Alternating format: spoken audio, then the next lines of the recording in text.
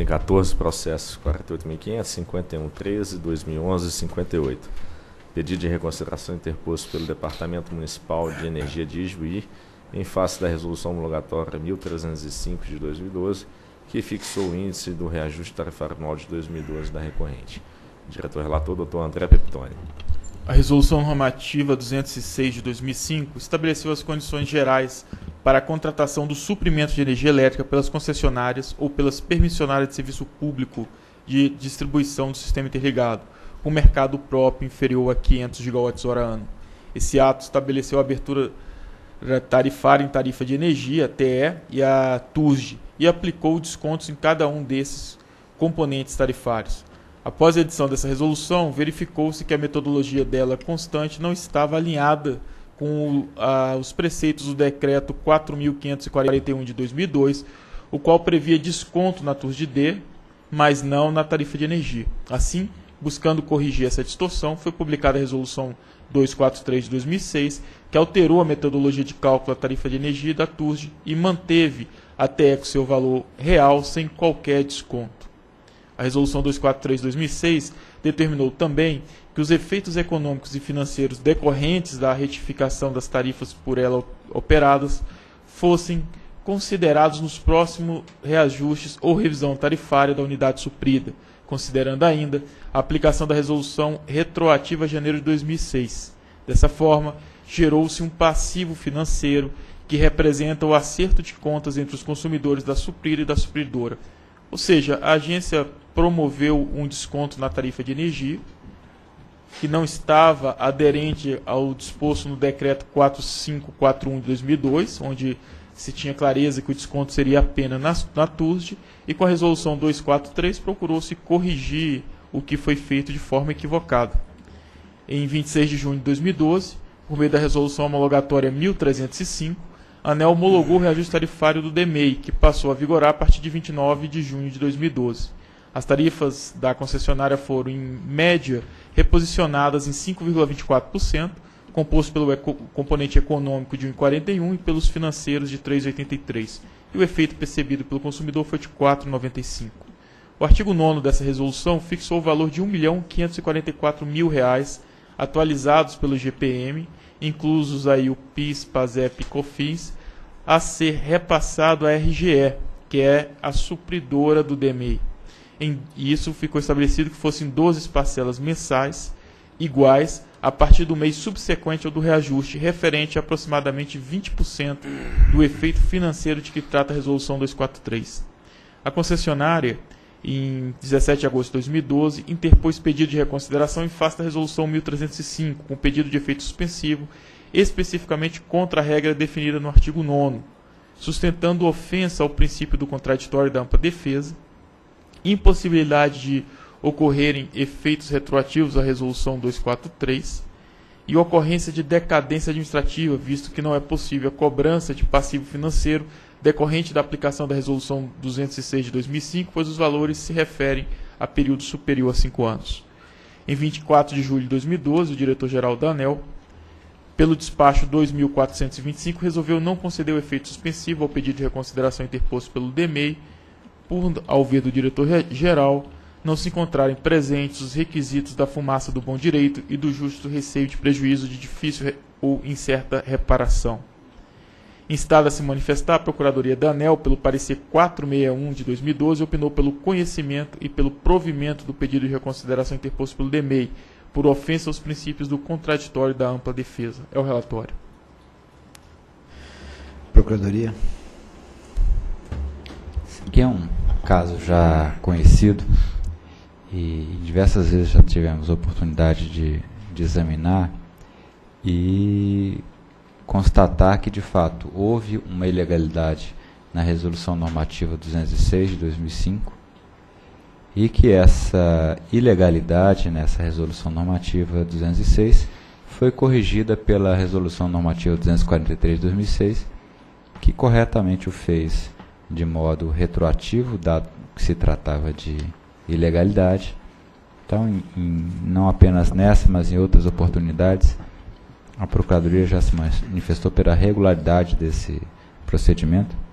assim como já se manifestou também que não, não se trata de sustentar decadência pelo fato de estar sendo aplicado agora em, em 2012, porque logo em seguida, com menos de um ano após a primeira resolução, já houve o comando para alteração retroativa. Isso só foi é, suspensa, suspensa sua aplicação porque foi feita uma análise de, de conveniência e oportunidade, mas não que não, não seria devida essa, essa devolução e que foi exatamente o que foi feito nessa última resolução homologatória.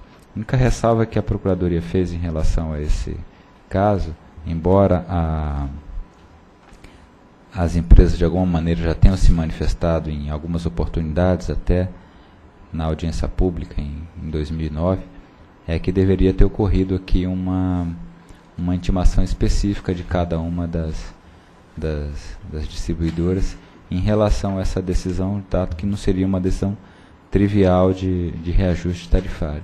Então foi essa apenas a, a, a ressalva que a Procuradoria fez em relação ao procedimento, mas quanto ao mérito, entende perfeitamente que é legal a, a imposição de, de inclusão dessa parcela na, nas tarifas e que não há, não se vislumbra aqui a, a decadência levantada pela recorrente. O pedido de reconsideração atende aos critérios de admissibilidade, senhores diretores, e daí razão pela qual ele deve ser conhecido. Destaca-se que argumentos semelhantes aos apresentados pelo DEMEI foram analisados por este colegiado na 42ª reunião pública, portanto, a de terça-feira passada, quando na análise do pedido de reconsideração interposto pela Hidropan contra a resolução que homologou seu reajuste tarifário de 2012, que resultou na emissão de despacho 3.535, objeto da relatoria do diretor Romil. Passa-se então a análise do pedido de reconsideração do DEMEI, com base nos fundamentos utilizados por essa diretoria na decisão constante do despacho 3.535. Quanto ao argumento do DEMEI de que não foi observado contraditório e ampla defesa, pois após a edição da Resolução 211-2009, a ANEL deveria ter efetuado os devidos estudos e submeteu o tema à sua diretoria, ainda deveria estabelecer o contraditório antes da aplicação arbitrária da Resolução 243-2006, destaca-se o voto condutor do despacho 3.535, proferido terça passada. Nesse voto, ficou consignado que a suspensão da aplicação dos efeitos da Resolução 243 de 2006 para a reavaliação da razoabilidade econômica da retroatividade sucedeu em favor dos próprios consumidores da concessionária. Tal razoabilidade não diz respeito ao mérito do encontro de contas entre consumidores da suprida e da supridora, mas sim à modulação dos efeitos desse encontro de contas, de modo a diminuir os impactos decorrentes, considerando a capacidade de pagamento desses consumidores. Dessa forma, a diretoria colegiada concluiu não ser razoável aceitar que o tratamento regulatório ou o cuidado usado na aplicação da norma pudesse ser utilizado como argumento para questionar a legalidade e a legitimidade da decisão que considerou o passivo gerado no cálculo de reajuste tarifário. Admitir tal argumento seria afirmar que teria sido mais acertada a decisão de aplicar a Resolução 243 de 2006, sem modulação de seus efeitos e sem preocupação com os impactos para os consumidores afetados, o que não seria razoável ao ver desse colegiado. A diretoria revelou que o processo tarifário, tal como regulamentado pela ANEL, é aberto à participação da sociedade e de todos os interessados. Tal princípio é levado ao extremo na agência, sendo limitado apenas por condições materiais e temporais que impõem corte no processo dialético de formação da vontade da administração, para que, enfim, alguma decisão possa ser tomada. Os argumentos da recorrente sobre o assunto foram recebidos em mais de uma ocasião nessa agência. No primeiro momento, houve manifestação da empresa antes da aprovação da decisão questionada. Posteriormente, quando da interposição do pedido de reconsideração, o DEMEI teve nova oportunidade para esclarecer seu ponto de vista e recolocar sua pretensão diante do entendimento da questão. Assim, não há que se falar em observância ao contraditório e ampla defesa, quando um dos pontos em discussão, dentre os muitos discutidos, especialmente no complexo processo tarifário, não foi desenvolvido tal como esperado por um agente envolvido. O que se discute é o tempo que fora disponibilizado para manifestação prévia do agente, sendo inequívoco que a manifestação ocorrera previamente a decisão. Entende-se, portanto, que não houve cerceamento da defesa do DEMEI nem obstrução ao contraditório. Ademais, não se espera que nova informação possa ser anexada aos autos, de modo a alterar o entendimento já sedimentado nessas agências e já aplicado em outras, na realidade são sete concessionários, porque na pauta passada nós não deliberamos um, foi dois casos. Então, é um entendimento que já foi aplicado em sete concessionárias, de que o passivo de que trata a resolução 243, ele deve ser devolvido sim. Quanto ao argumento que questiona os efeitos retroativos da resolução 243 de 2006, concorda-se com a Procuradoria-Geral da ANEL, que se manifestou no sentido de que a agência agiu corretamente ao publicar a resolução 243, corrigido com efeitos retroativos à resolução 206. A Procuradoria esclareceu, constatado o vício de legalidade de um ato administrativo, é dever do administrador e não mera faculdade anulá-lo a Procuradoria acrescentou que a anulação de um ato administrativo gera efeitos ex tunc, ou seja, retroagem com a finalidade de eliminar a ilegalidade perpetrada. Ou seja, a agência deu indevidamente um desconto na tarifa de energia, identificou-se que não estava aderente ao decreto, então tivemos que anular o nosso ato e retirar esse desconto. E é sobre esse desconto que, que estamos tratando aqui. A aplicação inadequada do que dispõe o decreto 4.541 de 2002 o qual prevê desconto na TURG, não mais na tarifa de energia, possibilitou que os consumidores do recorrente pagassem valor inferior ao que efetivamente deveriam ter pago pela energia que consumiram no período. Nesse sentido, se beneficiaram do equívoco em detrimento dos consumidores da supridora, que tiveram que arcar com o respectivo valor.